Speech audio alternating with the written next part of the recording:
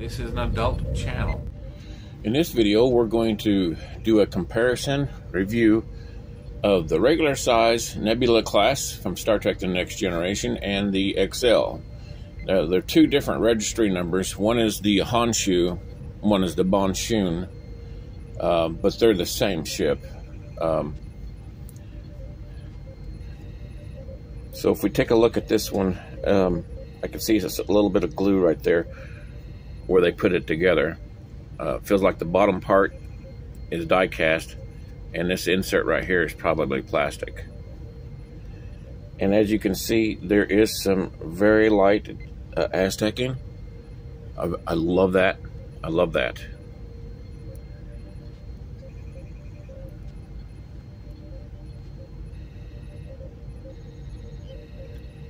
Honshu. And of course, we've got um, translucent parts and then the cells.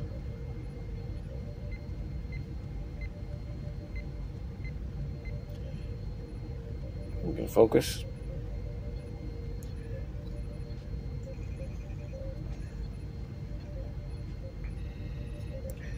You can see that very light Aztec Aztecing. That's that's beautiful.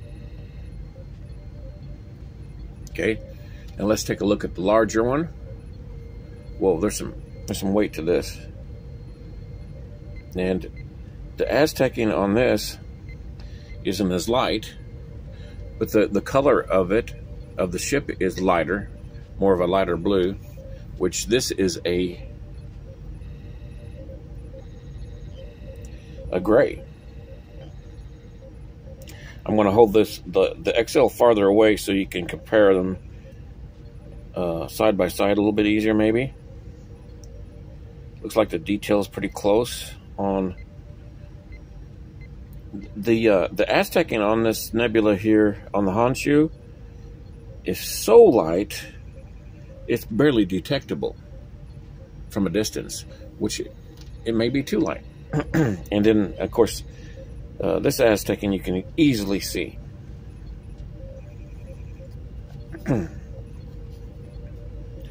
Whoa, what we got here? This pod on top is a little loose. It's going to come out. Oh, wow.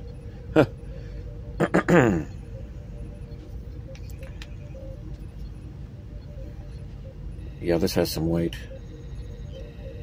Looking at the bottom of it.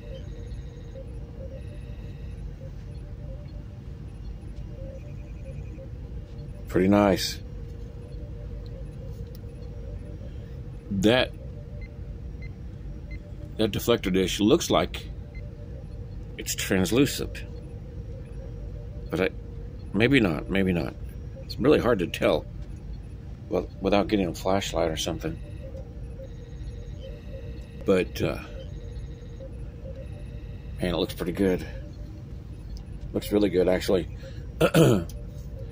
I love that they did put Aztecing on this, but it's so light you can't see it.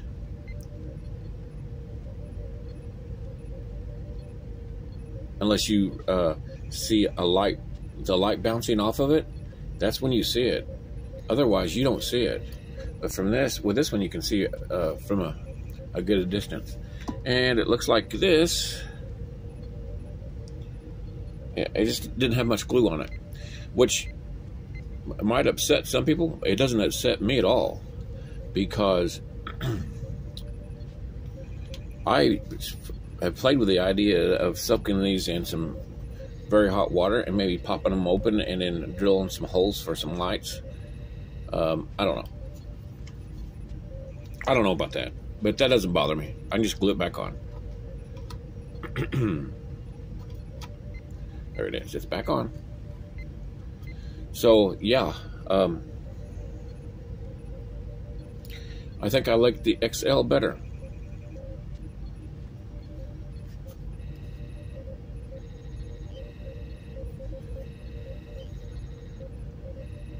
And uh,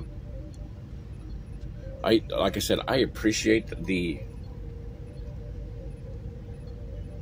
Aztecing, the very light Aztecing, but you can only see it with about light bounces off of it.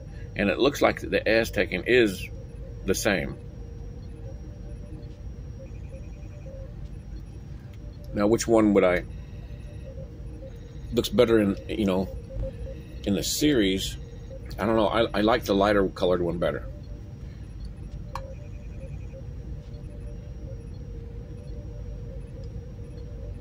Yeah, and uh, if uh, people think that these Eaglemoss models are perfect, they are not. They are not. You can look at some of the pictures uh, uh of the actual filming models, and you can see pictures of you know in, in action in the in the TV series, and there are differences. Even if Eaglemoss says that they've got the actual, if they were CGI, if the Eagle Eaglemoss says they got the actual um, CGI models, the digital models, that doesn't mean that these were manufactured right. Do you, you understand what I'm saying? They got the CGI models and they made molds. And it doesn't necessarily mean that the molds were made 100% with the CGI models. So it's nice that they did. But uh, a person could buy another one of these, take some uh, fingernail polish remover, also known as acetone, with a Q-tip and remove this, very lightly remove this, and you could buy the decal for the Honshu and put on your extra one of these, which would be cool. Uh, this uh, big one is about six inches long, and I'm not really sure the scale of that. i will have to look it up. So the scale of the Honshu is 14400. 14400. It's pretty small. And the scale of the uh, is 12800. So it's slightly smaller than the 12500 Enterprise D model kit. This is the 12500 Enterprise D model kit. I did not build this. I found it at a yard sale. As you can see, it is slightly smaller. But as a display, it's so close that it would display good with your uh, with 12500 scale ships. It's really close. The smaller or the large. Let's see. How do I put this? The smaller the scale, like when you get down to 14400 scale, right here. This is, uh, and then if you uh, like one 4200 scale, one 4400 scale, or one 4600 scale, the, the size between each one is less perceptible. But the bigger ship you have, and if it's a different scale, the more you'll notice it. But this is not too bad, is it? So if you have the 12500 uh, model uh, uh, set, well, actually, they make the set for um, Star Trek, and uh, I'll, I'll show you the Enterprise C. And here's the Enterprise C 12500, and that's about right. Because the Enterprise D and the Enterprise C 12500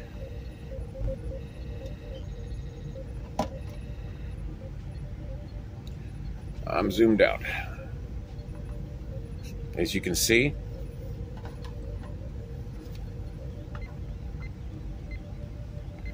Looks pretty good. And this is the Hot Wheels Excelsior, which is 20 on 2500. I uh, I checked. I um, measured it. So the uh, uh, model kit manufacturer, Polar Lights, I think it was, or was it AMT? They made a, a ship set, which I have the the Enterprise B, and it come it came with the, all the Enterprises. Is all the Enterprises in 20, 12500 scale. But I just happen to notice that this Hot Wheels Excelsior is exactly 12500 also and fits in nicely with them. So if you have that ship set, get the Hot Wheels Excelsior and it'll fit right in.